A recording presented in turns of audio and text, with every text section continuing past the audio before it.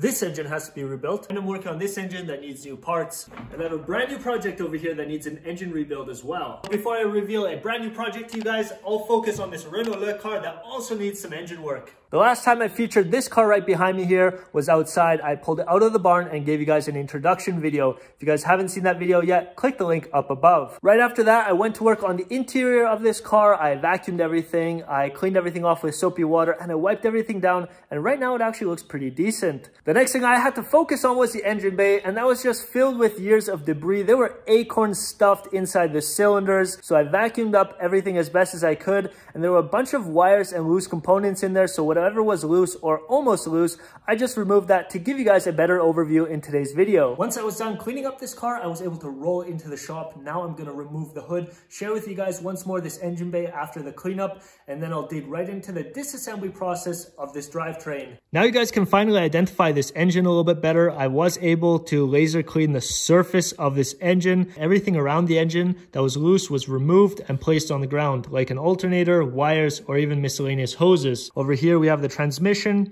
and the engine, it will be dropped down and the car itself will be lifted up so I can actually pull the drivetrain out and underneath of this car. I'm not exactly sure how many components are in the way to remove this drivetrain out of the car, but we'll find out in just a second.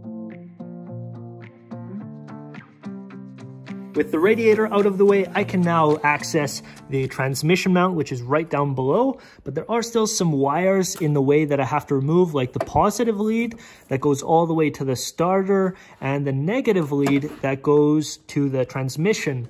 Another thing I want to remove on this engine are all the components that are higher than the engine block, like the dipstick tube and the distributor right behind it.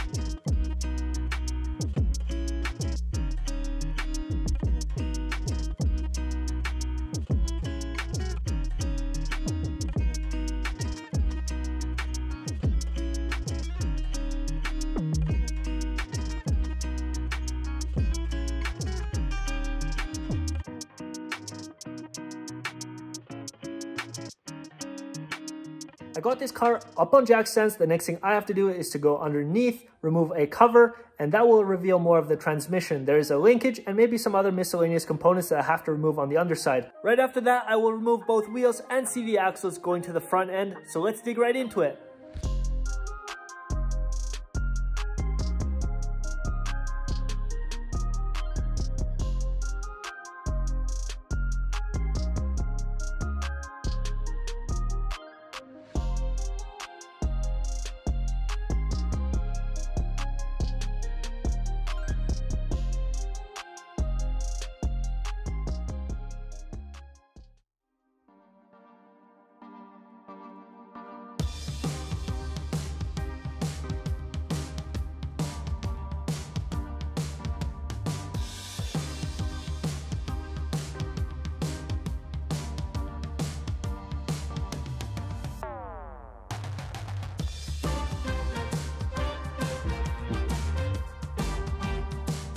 Earlier in this video, I mentioned I'd drop the drivetrain and slide it out underneath of the car. I think I'm gonna change up my game plan to remove this drivetrain and I'll tell you exactly why. We're gonna go underneath of the car and over here I have two jack stands that are right underneath two frame rails. So this right here is a frame rail that runs all the way to the back of the car and over there is another frame rail that's supported by a jack stand. This right here is just an oil pan to catch some of the oil that came out of the transmission. But right now, since these frame rails are very narrow together, as you can see, they're very narrow, and the drivetrain on the engine side of things is a little bit wider, um, I cannot pull these jack stands any further out.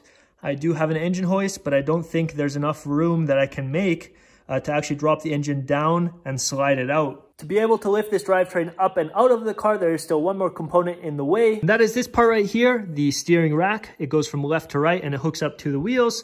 But also over here, we have our steering shaft that goes to the steering wheel, but also comes in here because we have a pinion gear. So this assembly will have to be removed in order for me to lift up the transmission and the engine as one unit. So I'll remove that steering rack and right after that, I'll grab the engine hoist and remove this drivetrain. Fingers crossed, everything goes as planned.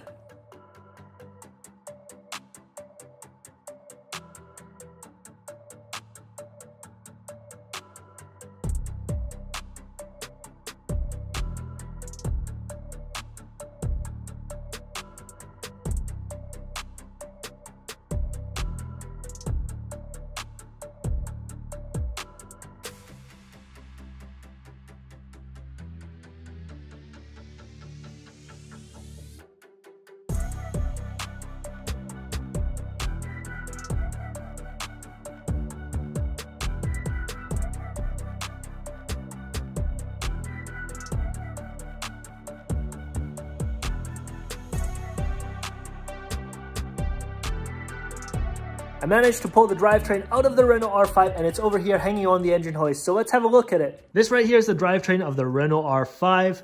Towards the front of the car, we have a four-speed manual transmission that only powers the front wheels. The front CV axles get inserted into the transmission in this area and that's why I blocked it off because oil was coming out of it. Behind the transmission, you will find our clutch area that's housed in this area. Right behind the clutch, we also have our inline four-cylinder engine powered by gasoline.